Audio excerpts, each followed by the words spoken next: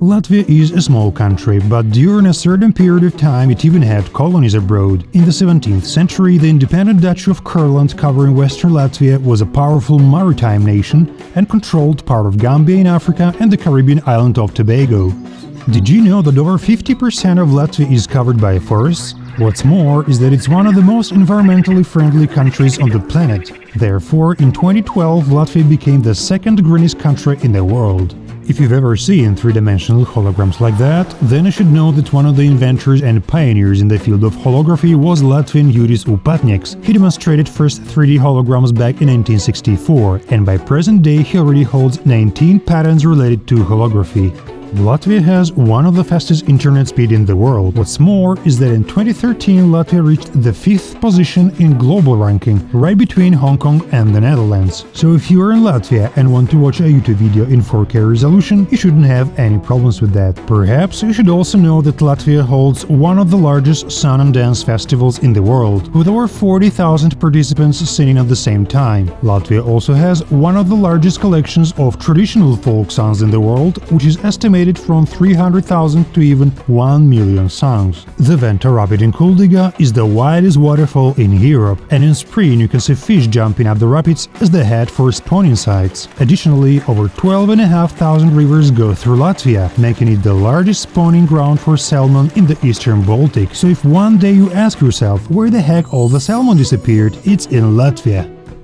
Black Balsam it's a traditional liqueur made using 24 different plants, flowers, buds, juices, roots, oils and berries prepared in oak barrels. It's considered to be a good cold remedy, and according to the legend, Catherine the Great became ill during a visit to Latvia, but was cured very fast, just after drinking it. If you follow the NBA, then you probably know Kristaps Porzingis, who is currently one of the tallest players in the NBA history. His height is 2 meters and 21 centimeters. Despite the young age, his career is developing rapidly. Already in this season, Porzingis with his New York Knicks club became the NBA Skills Challenge champion.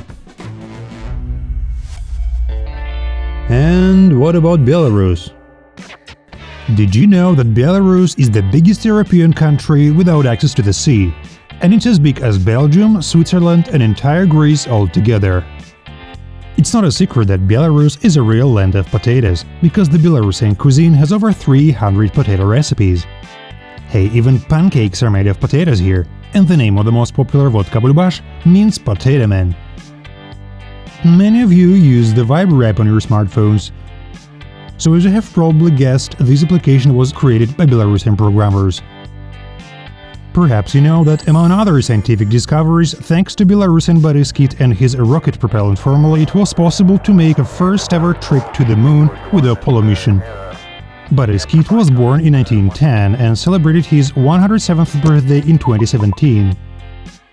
Belarusians had been playing ice hockey even before it became a popular sport, although they used just one leg to slide and a snack as a hockey stick. Some historians date it back to the 17th century. Moreover, in Belovezhskaya Pushcha, which is the largest ancient forest in Europe, there is a historical museum where you can even see an authentic ice skate, which was handmade around 150 years ago. You'll be surprised, but many Hollywood celebrities can be proud of their ancestors coming from Belarus. For example, Lisa Kudrow from the sitcom Friends, as well as Scarlett Johansson, Harrison Ford, Michael Douglas and Louis Mayer, one of the founders of the legendary Metro-Goldwyn-Mayer Film Studio and Oscar Award. The list wouldn't be complete without mentioning such famous people as fashion designer Ralph Lauren, painter Marc Chagall, or oceanographer Jacques-Yves Cousteau, even one of the greatest players in the National Hockey League history, Wayne Gretzky, all of them have Belarusian roots. Hope you enjoyed getting to know the facts about our fantastic countries, Belarus and Latvia, unique countries with unique cultures.